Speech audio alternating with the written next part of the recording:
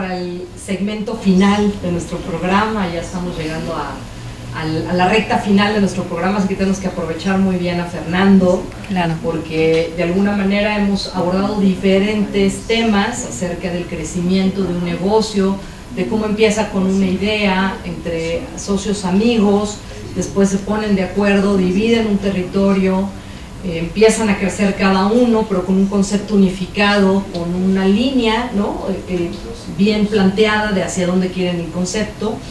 Y finalmente hoy, con esas 700 sucursales de las que nos has platicado que hay a nivel de, de la República y las sucursales que ustedes comandan, Fernando, ¿qué le puedes aconsejar al público? O sea, si, si yo estuviera del otro lado, yo estaría así, a ver, yo quiero empezar mi negocio yo abrí un buen negocio, me fue muy bien, luego quise replicar el negocio y el segundo negocio me fue mal, me dio un montón de miedo, ¿no? Entonces, ¿cómo se enfrenta Fernando día a día a los diferentes retos? ¿Qué tan importante es el lugar, la ubicación en tu negocio? ¿Cómo le haces para encontrar la ubicación correcta? En fin, platícanos un poco y platícanos y darles unos cuantos consejos de tu experiencia al final, porque miren, podemos sacar del libro los, las mejores prácticas recomendadas de marketing por los autores más famosos. Para mí lo importante es cuando tengo aquí una persona que lo ha vivido y que lo ha vivido en familia y que ha vivido los retos de llevar un negocio hacia adelante, ¿no? Claro, eh, bueno, yo creo que de los mayores retos que tenemos como negocio definitivamente son las, las ubicaciones y yo yo podría decir que eso va muy asociado respecto de la empatía que generas con los arrendadores. ¿no? cuando nosotros precisamente tenemos ese, esa cercanía eh, y les transmitimos precisamente el espíritu de que todos ganamos derivado de esta actividad comercial, entonces es cuando podemos obtener las mejores ubicaciones, los mejores costos y demás. ¿no? A diferencia de otras compañías que solamente te dan la sensación de que vienen a lucrar con el predio, ¿no? Entonces, eh, cuando nosotros generamos esa empatía, eh, inmediatamente y ante el éxito del negocio, la misma gente se te acerca a ofrecerte lugares, ¿no? Hay gente que dice, yo no te cobro inclusive un año de renta, pero pon un pollo feliz aquí, ¿no? Ah, qué maravilla, es, unidad. Sí, eh, es apostarle, ¿no? Juntos. Y, y, eso también habla de, de la buena mancuerna que hemos hecho con los arrendadores, porque eh, corren muy rápido los chismes, ¿no? El mundo, el mundo pareciese que es eh, está muy grande, pero la realidad es que, que, no es tan grande como parece ser, ¿no? Y cuando uno hace una cosa mal en, en un lugar, se replica en otro, ¿no? Y ese podría ser el, segundo consejo que yo les podría dar, ¿no? El segundo consejo es aprender a hacer las cosas homologadamente. ¿no? Y bien. Sí, exactamente. Es muy importante, o por lo menos para mí ha sido muy importante, documentar los procesos. Porque aunque te podemos tener un operador muy bueno, muchas veces si no documentamos el proceso, se presta a, generar, a, meterle sentimientos al proceso, ¿no? Y entonces la, la, escala métrica con la que podemos medir el rendimiento de los negocios pues va a ser disímbola de un lugar a otro. Y la idea es precisamente que tengamos homologados los criterios para que independientemente si esa persona el día de hoy está operando el negocio y parece ser exitoso, el día de mañana llegue otra persona que también pueda seguir operando el negocio con el mismo éxito. Por supuesto. Claro. Entonces, es muy importante documentar los procesos y tener muy claro cuáles son los objetivos que nosotros estamos buscando respecto de los procesos que estamos implementando.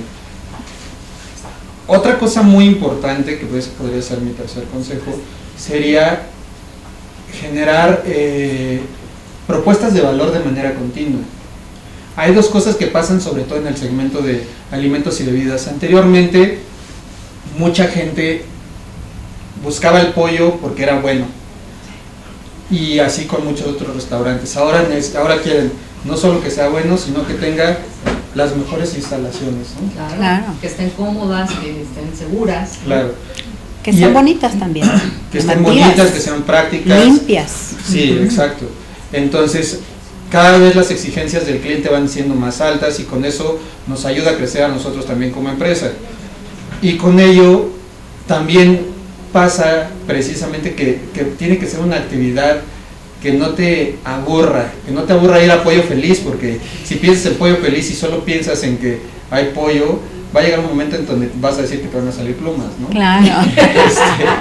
Este, entonces, nosotros estamos tratando de ampliar nuestra gama de productos a efecto precisamente, sin desvirtuar nuestro core business, que es el pollo asado, con el efecto precisamente de que si vamos a pollo feliz, también sepa que puedo comer o los nuggets, o como lo hace nuestro homólogo de la ciudad de Veracruz, tiene parrilladas, entonces ya mete eh, las parrilladas como parte de su negocio.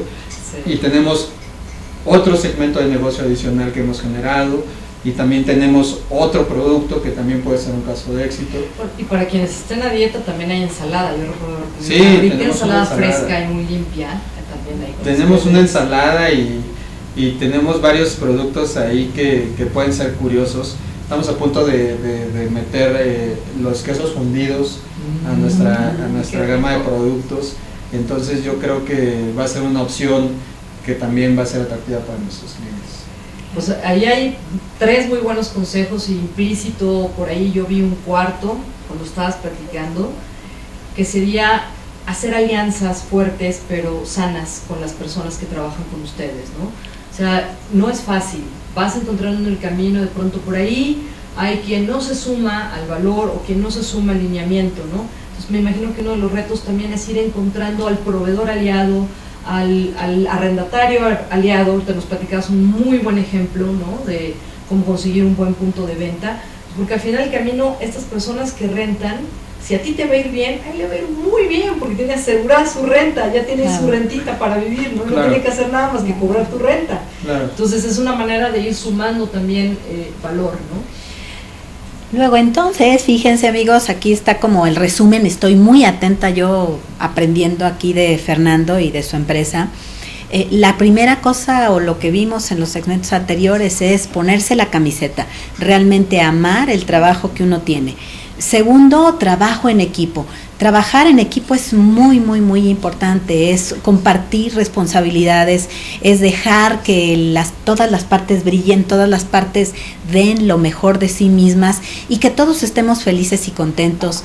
Eh, alianzas, como decía Tere, todas estas alianzas que nos permiten realmente... Em, fortalecernos también los unos a los otros junto con el trabajo en equipo, esta historia de los procesos, esta historia que llevan de lo que documentada, de lo que sale eh, resultado de algo muy exitoso o muy bueno. Y, bueno, pues este es, es, como una parte muy importante, Tere, me encanta, porque se puede aplicar a cualquier modelo de lo que sea que estemos haciendo. Y sin olvidar el espiral de crecimiento, haciendo a un lado el miedo y no prestando atención a los miedos, ¿no? Enfrentándote constantemente al reto y a la diversión también, ¿no? Sí, claro, es muy divertido esto de los negocios porque todos los días aprende algo nuevo. Este, es importante precisamente no perder la esperanza en el negocio porque hace rato platicábamos respecto de las ubicaciones y las ubicaciones siempre van a ser privilegiadas en algunos casos y en algunos casos no pero también tenemos que analizar cuál es nuestro objetivo con esa ubicación, tener una presencia de marca ah, o, o, tener una expansión, eh, porque al final del día ese punto, si nosotros lo dejamos, alguien más lo va a utilizar, ¿no? Y puede ser nuestra competencia. Claro. Entonces una de las estrategias es, algunos puntos de venta son como la vaca gorda, otros una vaca medio flaca. y tienes placas sí, claro. también que tienes que subsidiar, pero que las tienes enfocadas como marketing en posicionamiento de marca. Así es. Básicamente, ¿no? Oye, dentro de lo divertido, yo sé que por ahí tienes unas promociones que ya nos están poniendo. Cuéntanos de las promociones que tienes. Si yo voy a Pollo Feliz, ¿qué obtengo? Porque bueno, si no estás pensando en poner un negocio, pues igual ya se te despertó el hambre y tienes ganas de ir a comer un pollo feliz. ¿Y qué podemos encontrar en Pollo Feliz? Pues mira, nosotros tenemos una promoción permanente los días miércoles de todo el año. Eh, tenemos una promoción de la compra de un pollo, se obsequia medio pollo más. Mm. Este, les, les sugiero que lo acompañen con cualquiera de nuestras guarniciones, que sin lugar a dudas enriquecerán su hora de comida. ¿no? Este, adicional a eso, y quiero aprovechar el segmento, tenemos una promoción para aperturas que es precisamente la compra de un pollo se regala a otro.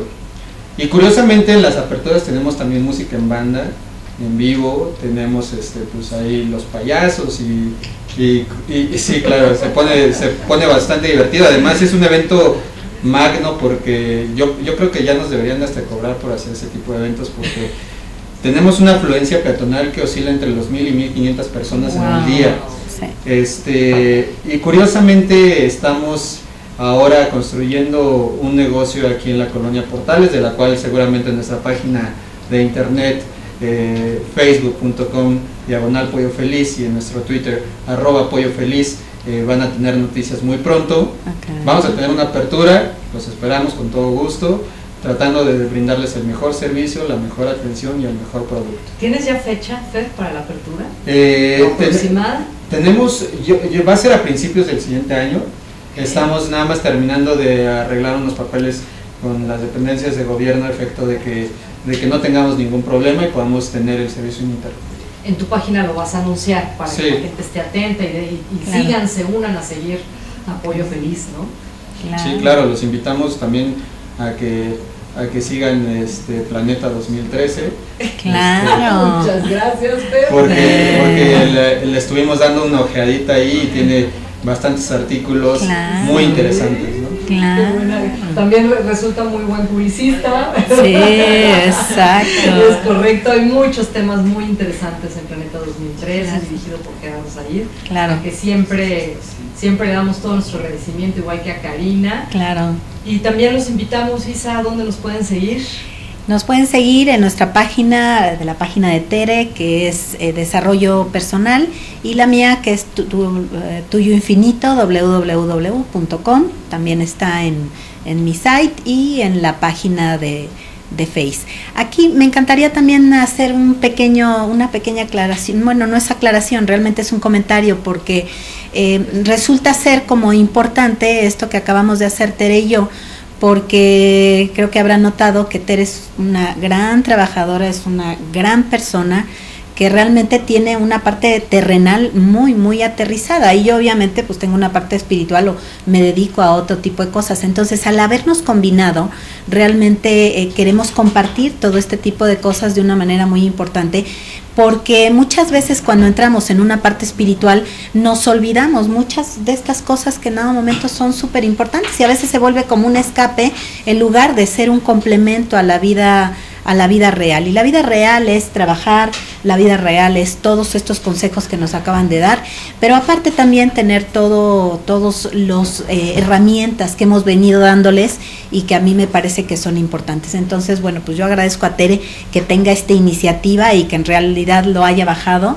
Eh, y también a Fernando que nos haya venido a, a platicar de todo esto. Sí, en, Planeta 2013 queremos en este espacio consciente recordar que el mundo laboral es fundamental, es parte de nuestra economía, es parte de lo que hoy vivimos alrededor. Y el tener un empresario que en todos los días enfrenta estos retos y tener casos de empresas mexicanas es parte de un compromiso que hicimos con ustedes al principio del programa.